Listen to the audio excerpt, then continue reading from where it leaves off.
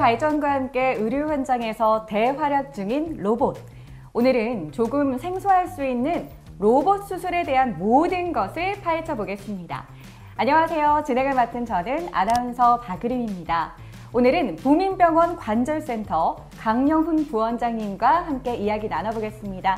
원장님 안녕하세요. 네, 안녕하세요. 부민병원 관절센터 강영훈입니다. 아, 네, 반갑습니다.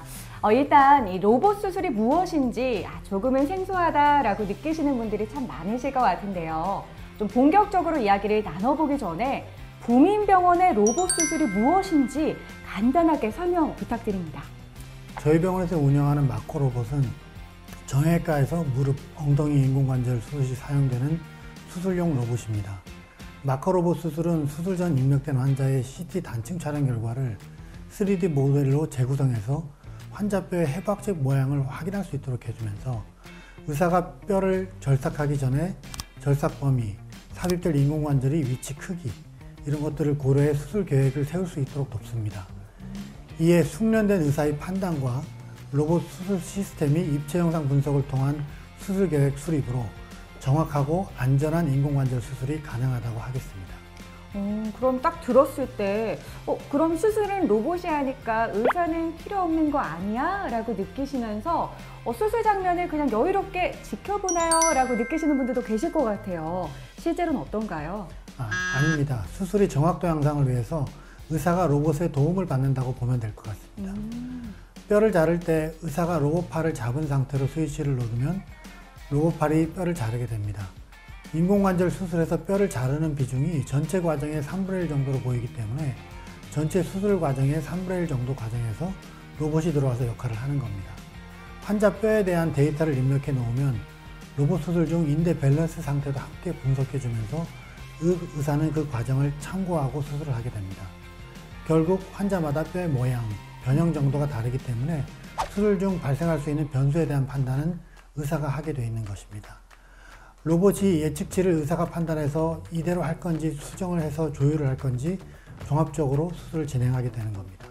음, 그러면 좀 정리를 해보자면 아무래도 수술은 로봇이 할 수는 있어도 정확도 향상을 위해서 의사에게 도움을 줄 뿐 수술 중 일어날 수 있는 여러 변수들 가운데 판단은 결국 의사가 한다라고 이해하면 될까요? 예, 맞습니다. 어, 그렇다면 이 로봇 수술을 진행하는 이유도 궁금합니다. 인공관절 수술은 최근에는 일반적인 수술과 로봇을 이용한 로봇 인공관절 수술이 양분되어 진행을 하게 되는데 로봇 인공관절 수술이 일반 인공관절 수술보다 정확도가 높아 수술 결과가 더 좋다고 하겠습니다. 로봇 인공관절 수술은 수술 전 3차원 CT로 다양한 각도에서 무릎의 해박적 구조를 살펴보고 삽입할 인공관절의 크기, 각도, 범위 등을 계획합니다. 수술 시 뼈의 절삭은 0.5mm 이하로 정확하게 조정 가능합니다. 수술 시에는 환자 무릎 상태를 실시간 수치화된 값으로 확인하면서 수술을 진행하고 수술 중 계획된 범위를 벗어나면 로봇팔이 작동을 저절로 멈추도록 설계되어 있습니다. 이러한 장치들로 인해 로봇 수술은 일반 인공관절 수술보다 정확도가 더 높고 주위 조직의 보호 효과가 높아 결과적으로 수술의 결과를 더 좋게 만들 수 있습니다. 음, 결과적으로 수술의 정도를 더 좋게 만든다 하니까 조금 더 마음이 가는 것 같은데요. 혹시나 로봇 수술이 불가능한 환자도 있을까요? 네, 먼저 얘기 드리면 말기 무릎 관절염으로 인공관절 수술이 필요한 사람은 대부분 로봇 수술로 가능하다고 보겠습니다. 다만 변형이 너무 많고 무릎 가동 범위가 60도 미만인 경우에는 로봇이 데이터를 수집 분석하는 데 어려움이 있어 제한을 받는 경우가 있습니다. 어쩔 수 없이 일반 인공관절 수술을 해야 되는 경우도 있지만 실제 임상에서 진행해 보면 로봇 인공관절 수술이 제한 영역이 적어 실제는 거의 비슷하게 시행할 수 있다고 보면 될 것 같습니다. 어, 이제 이해가 쏙쏙 되는데요. 네, 듣다 보니까 이 부분도 참 궁금해집니다. 앞서 로봇 수술이 장점 중 하나가 수술 과정이 최소한으로 진행된다라고 해주셨는데요. 아, 그렇다면 통증, 출혈도 적은 걸까요? 예, 맞습니다. 로봇 인공관절 수술 시 최소한으로 정확하게 뼈를 절삭하기 때문에 인공관절 수술 일반적인 환자에 비해서 통증과 출혈이 적은 편이고 관절 운동도 잘 되는 편이어서 더 빠르게 회복합니다.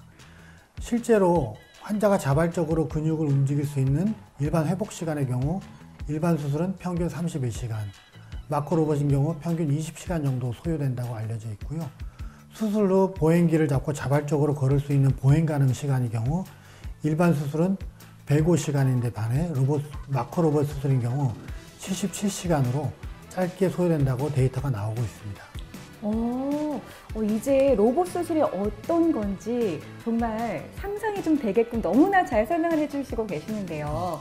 혹시나 이 로봇 수술에 관심이 좀 생겨서 알아보는 분들 가운데 어, 일반 수술에 비해서 로봇 수술은 준비 시간이 더 길다라는 말도 혹시 좀 들어보셨을 것 같아요. 이 부분의 진실은 뭔가요? 예, 그 말은 진실입니다. 아, 로봇 수술의 단점 중 하나라고도 말할 수 있는데요. 로봇 수술은 데이터 입력 과정이 필요하기 때문입니다.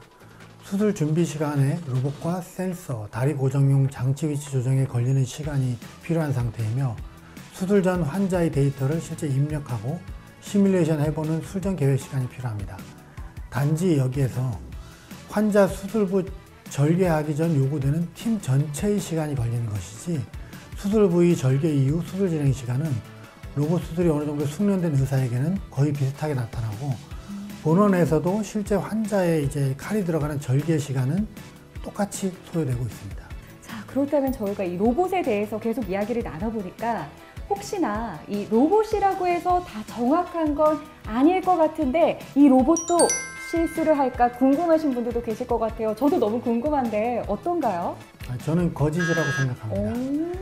오, 역사적으로 로봇 인공관절 수술이 시작된 미국에서 애초 초기부터 IBM사, MIT, 정형외과 의료진의 협력으로 안전성과 검증을 바탕으로 발달했습니다.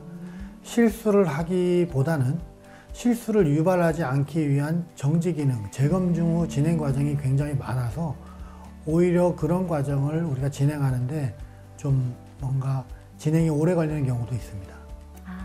아, 그렇다면 어느 정도 이 로봇 수술에 대해서 전문적으로 하는 병원 그리고 전문의를 찾으면 이 모든 고민도 조금 해결이 될 것 같은데요.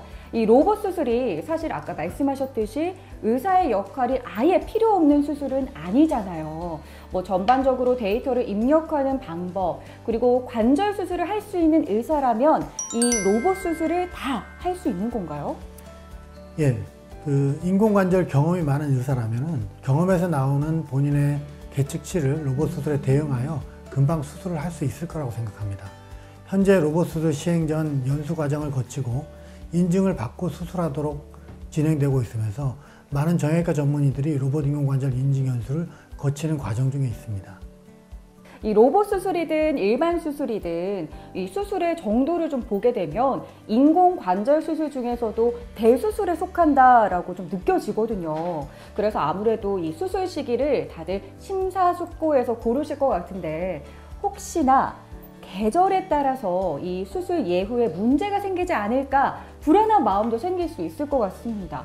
혹시 뭐 여름 같은 경우에 인공관절 수술을 하게 되면 염증이 생긴다 이런 걱정하시는 분들 이거 어떻게 하죠? 예, 맞지 않다고 생각합니다. 아. 적지 않은 분들이 여름에 수술하면 절개 부위가 덧나거나 상처가 아물지 않을 것으로 여겨 수술을 꺼리는 경향이 있는데요. 전문의들은 염증을 일으키는 균은 뭐 신체 내외적인 어떤 요인에 있기 때문에 여름, 겨울 등 계절의 영향을 받지 않는다며 수술 시기를 정하는 것은 계절보다도 질환의 진행 속도나 병 상태에 따라 결정하는 것이 좋다고 설명하고 있습니다. 실제로 관절 부상이나 관절염 환자들은 여름을 피해 수술하겠다는 생각으로 수술 시기를 미루다가 오히려 상태가 악화되고 계절을 기다리는 보람도 없이 수술 자체가 복잡하고 커지는 경우가 많습니다. 특히 관절 통증이 극심하고 다리의 기능 장애를 일으키는 말기 관절염 환자들은 수술을 미뤘을 때 일상생활이 더 어려워지고 삶의 질이 저하되기 쉬운 만큼 하루하루가 더 고통스러운 일로 가는 경우도 많습니다. 최근에는 후 한부에 방수용 드레싱 등을 사용해서 여름에 땀을 흘리거나 샤워를 하는 데에도 전혀 지장이 없고요. 날씨가 춥지 않은 여름철에 인공관절 수술을 하게 되면 오히려 회복 중 통증을 덜 느끼는 경우도 있습니다. 아, 이게 혹시나 좀 습한 여름에 수술을 하게 되면 좀 염증이 나지 않을까 걱정하셨던 분들도 아주 명쾌하게 진실을 알게 되신 것 같습니다. 자, 오늘 이렇게 강영훈 부원장님과 함께 로봇 수술에 대한 오해와 진실에 대해서 제대로 한번 알아봤는데요. 우리가 몰랐던 로봇 수술에 대한 다양한 이야기들 어떠셨나요? 이제는 로봇 수술에 대한 염려 조금은 덜어 놓으셨길 바라봅니다. 자, 다음에 더욱더 유익한 소식으로 저희는 또다시 찾아뵙겠습니다. 시청해주신 여러분, 고맙습니다.